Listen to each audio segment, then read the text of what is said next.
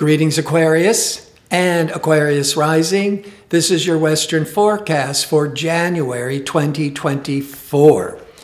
There's a major emphasis on your 12th house that represents the unconscious, but also pulling deep within and retreating to study, to um, to develop long range plans and goals behind the scenes, whether that's through education that you're studying to prepare for the future, or you are building a new business enterprise.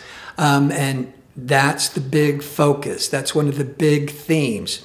But where I want to start is Mercury was retrograde the last half of December, and on January the 1st, 2024, decision making rational Mercury is now go is now direct.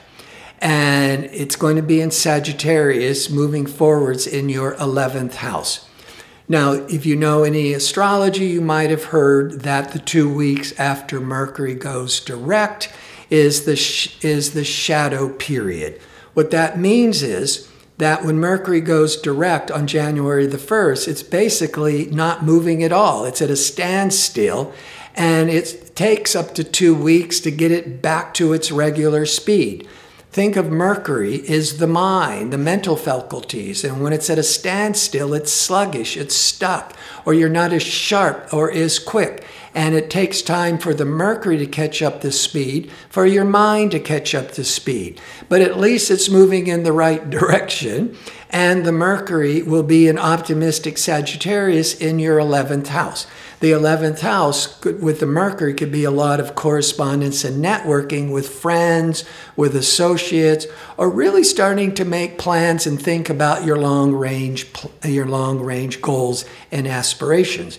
So that's the Mercury going direct, and then Jupiter went direct on December the 30th. Jupiter had been retrograde the last 4 months of the year. Jupiter's all this promise and um, and advancement and opportunity.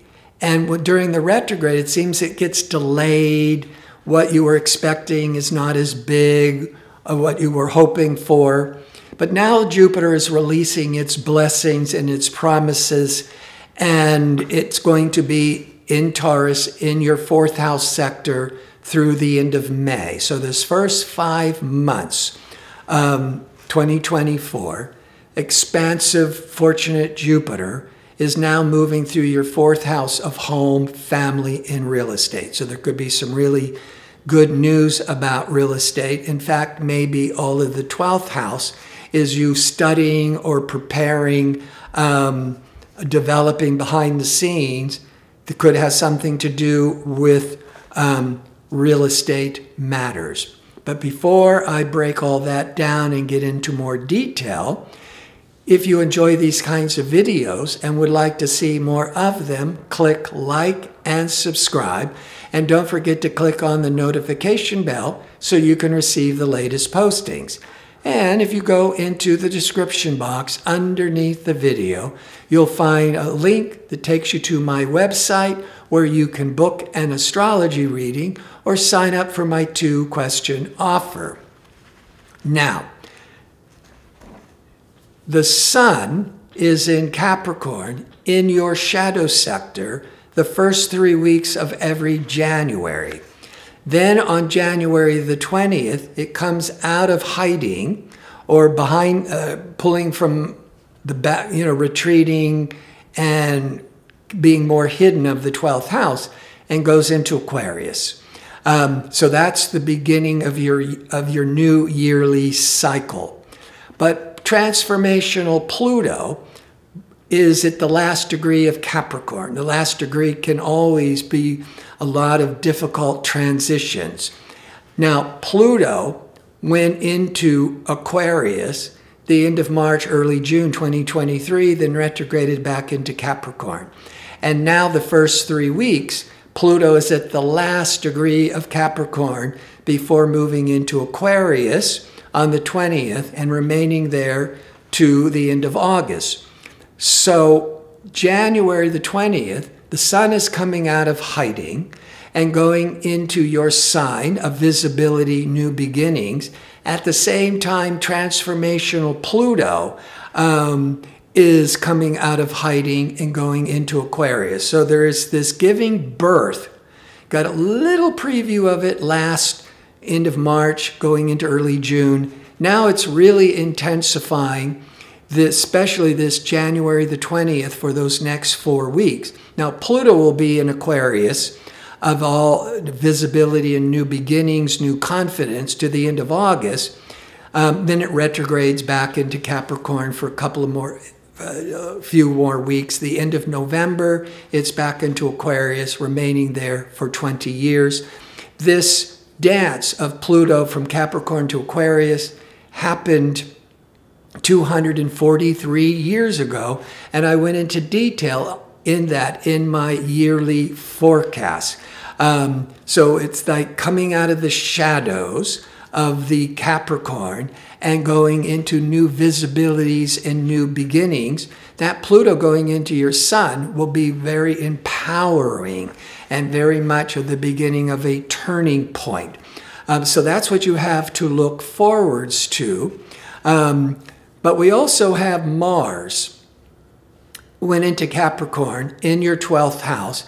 January the 4th till February the 12th. February the 12th, Mars goes into Aquarius and you are off and running, but, but more visibly. But Mars in Capricorn, it's the best sign for Mars the transit. Capricorn is the exalted sign for Mars. Um, that's because Mars can be too fiery, impatient, argumentative, um, and when it's in a weak sign, a weak sign where it can't control all that ego, tense stress, and irritability of Mars. So when Mars is in Capricorn once every two years, the Capricorn is controlling and disciplining and focusing all that fiery energy to be really productive.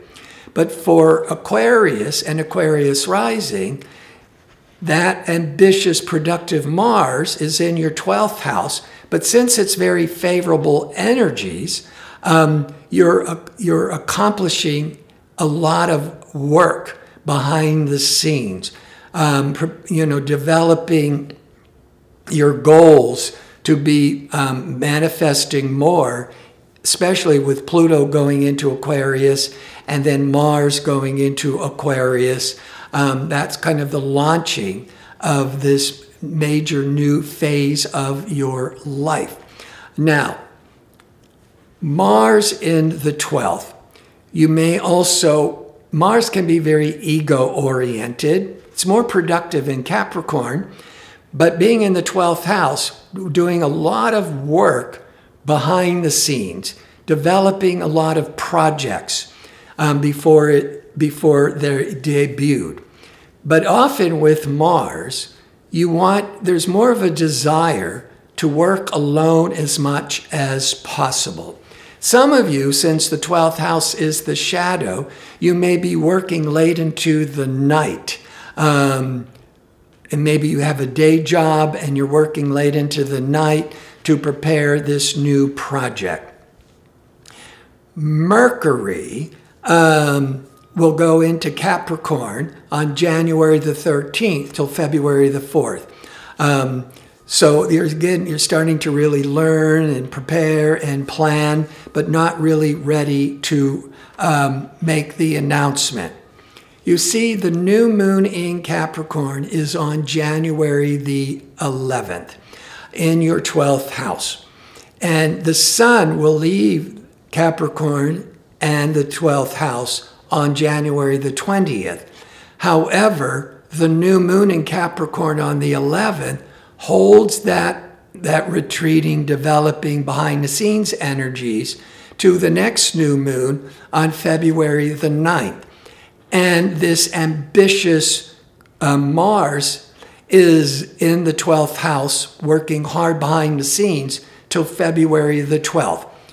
So even though the sun and transformational Pluto is moving on the 20th of January into your first house of visibility and new beginnings, there's still a lot more to be developed, um, prepared, because that 12th house, because of the Mars and the new moon, is still impacting you into the first part of February.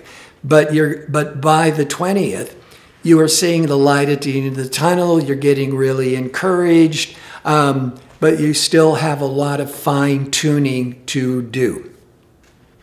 Now, Venus is that social, loving, creative energy. Venus is in Sagittarius, December the 29th till January the 23rd. January the 23rd, the Venus goes into Capricorn till February the 16th. I would predict for most of you that when sociable Venus goes into the, the shadow sector, the sector of retreating, that you are so close to making a major new redirection, launching a new business. Um, you could be so busy that there's no time to really socialize the way you used to with Pluto, with Venus moving into that shadow sector, January the 23rd. But the first 23 days, the Venus is in Sagittarius. Sagittarius is outgoing, it's friendly, it's adventurous. And the Venus will be in the 11th of friendships, of socializing, of networking. And in fact, Mercury's in Sagittarius the first 13 days. So the first 13 days of January, Mercury's in Sag, Venus is in Sag. This is really favorable for expanding your social circle, making new friends, new contacts. Um,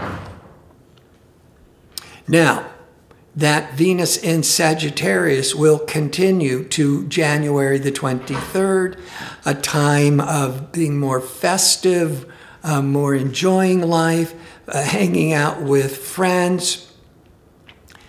But we've got to keep in mind everything I've said, and I touched on it briefly earlier, is Jupiter, that planet of prosperity and opportunities. Jupiter, when it is now direct in your fourth house of home, family, and real estate, the first four months uh, first five months of 2024. So there's these huge changes to new ways of making money.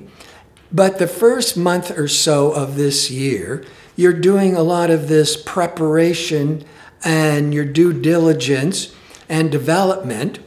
That Jupiter in the fourth, now that could be real estate. Um, but that could also be fourth house of family, that the family might be there to really help and support you. Now, that new moon on the 11th is keeping your attention on really developing this project. Two weeks later is the full moon. Full moon, everything's revealed. The full moon, a lot of things come to light. And the full moon will be in Leo, January the 25th. So, a couple of days around the 25th, the full moon is in Leo in your seventh house of marriage, partnerships, um, customers. Um, but I think that's the beginning of you, because the sun and Pluto has already moved into Aquarius on January the 20th.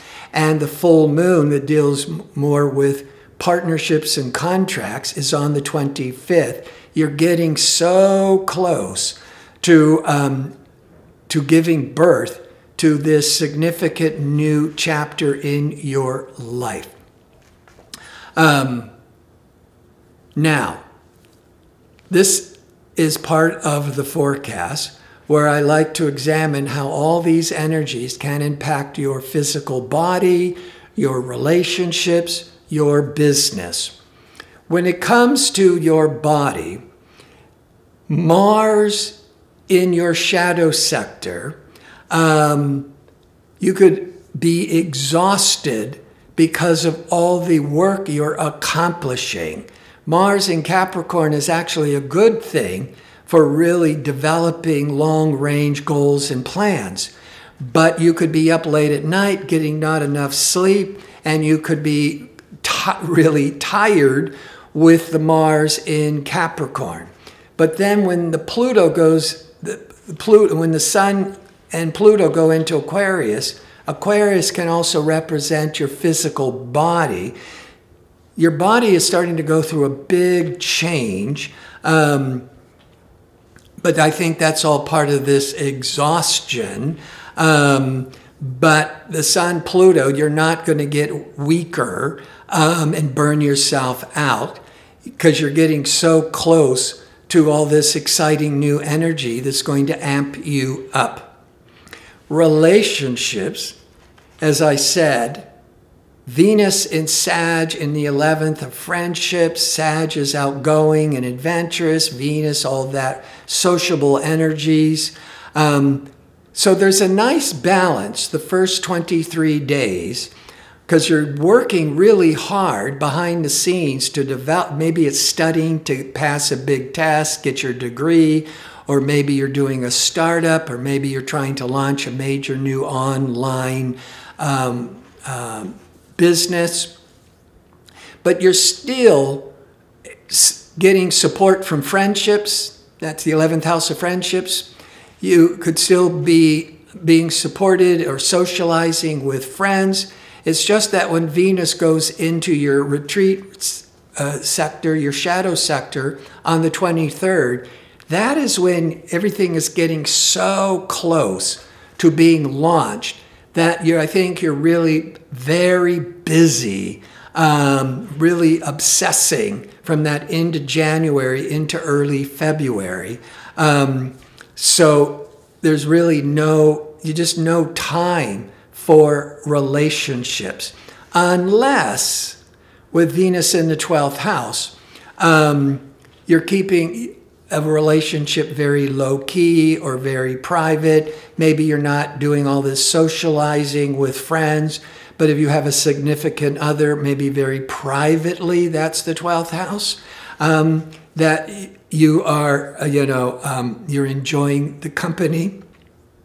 And then, of course, to wrap up the business, um, there's some big, there's some kind of new direction that is being the beginning of a big turning point, and you could get help from family, or is this help through real estate?